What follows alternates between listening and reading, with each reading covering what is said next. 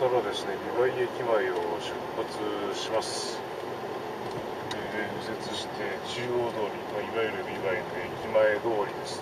駅前出てすぐにですね国道12号が広がっていて、まあここが本当に美唄市の中心市街地ですね。でそしたら左折して12号に入っています。この美唄の札幌トラックストアねよく見るとね店の前にいろいろな飲食店が立ち並んでるんですね。これは意外だ。そばとかまあただギリギリ駅そばの定義には入んないと思います。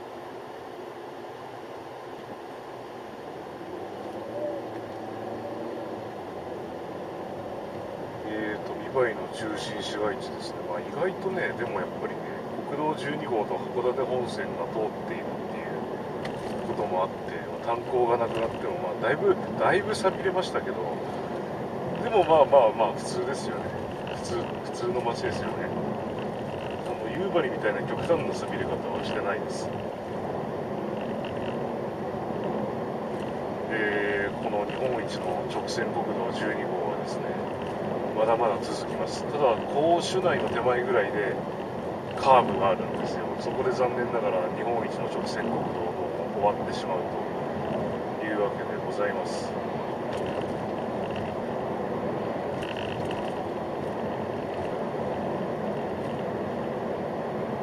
いやそれにしても暑い。ネパールカレースープカレーは結構美味しそうだなってちょっと思ったんですけどいいや先進もう飯は食わなくてもねさすがに水分は取らないと。体が干からびてしまいますね。えーと 300m 先車線数減少ここまだあれなんだ。2車線にならないんだ江別まで。岩見沢か。岩見沢まで。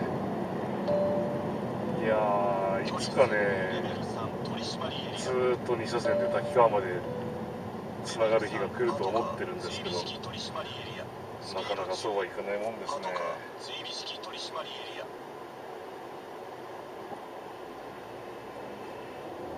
ああここでついに2車線区間も終わりだ。あとはまあだらだらとですね走っていくと。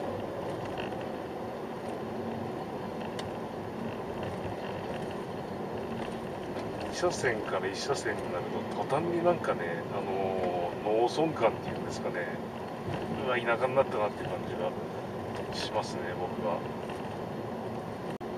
交通量は相変わらずなんですけど道幅が狭くなったんであのースピードが一気に落ちます。あでも前のねトラックね曲がってくれるらしいよ。ありがたい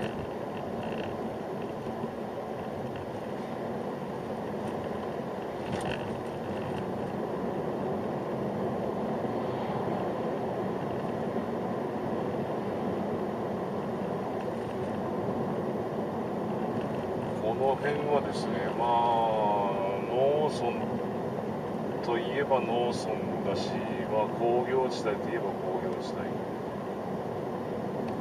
えーラーメン三八、えーなんだ菓子工房。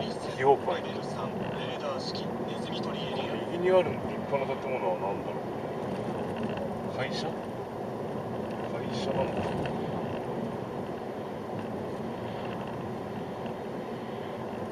でここは何だろうな左側土が盛られているっていうことはここは二車線工事が進んでいるんでしょうか。これはあの函館本線の五線橋です。甲州内五線橋。甲州内五線橋を越えたら当然甲州内の市街地に入る。わけです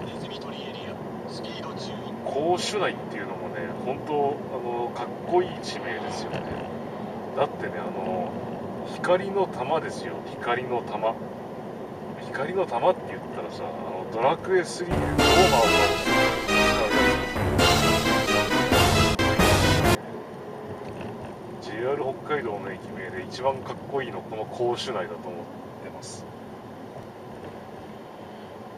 セイコーマートもあるしね。でここで右に緩く曲がりまして。残念ながら日本一の直線道路が終わるんですけどもこっからまたねしばらく直線です。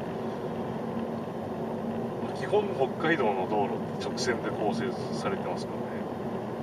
甲州内駅ね多分あの信号、えー、右折だと思います。これですね。これが多分甲州内の駅前通り案内看板はありませんが駅前には一応集落があります。廃屋とかではないです。でまたこのね駅舎がまたねグッときますね。あの色の剥がれたトタンとかさ錆びた屋根とかさなんていうか郷愁を誘いますよね。というわけで車を止めて現地調査の方を行っていきましょう。